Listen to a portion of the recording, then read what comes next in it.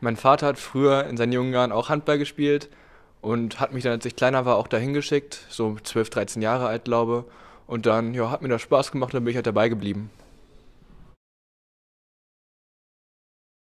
Ja, das war eigentlich die Idee von meinem Trainer Sebastian. Ich bin da mal ins Tor gegangen, als wir kein Tor beim Training hatten und das sah wohl gar nicht so schlecht aus, hat er mir damals gesagt. Gestimmt hat es nicht, aber mittlerweile geht das halbwegs.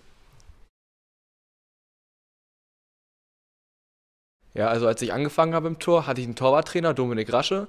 Der hat mir dann alles beigebracht, wie das fun zu funktionieren hat.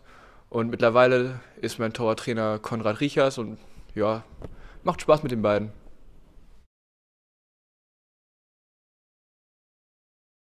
Oh, mein Vorbild, das ist Carsten Lichtlein.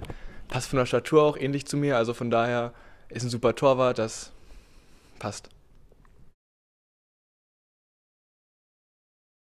Ja, ich muss ehrlich sagen, ich hatte ein gutes Vorbild. Sebastian hat es bei uns immer gut gemacht und da habe ich gedacht, ja, hört sich ganz gut an. Könnte man mal probieren. Und dann habe ich halt Christian Pohl gefragt, mit erzählen, ob ich da mal mit einsteigen könnte. Der fand das auch direkt super und dann habe ich einfach angefangen da. Ja, ich bin ja Torwarttrainer und da habe ich selber schon Erfahrung mit und man sieht einfach direkt, wenn man ernsthaft mit Leuten arbeitet, dass dann wirklich Fortschritte zu sehen sind und das finde ich einfach immer schön. Äh, beim ETSV Haste.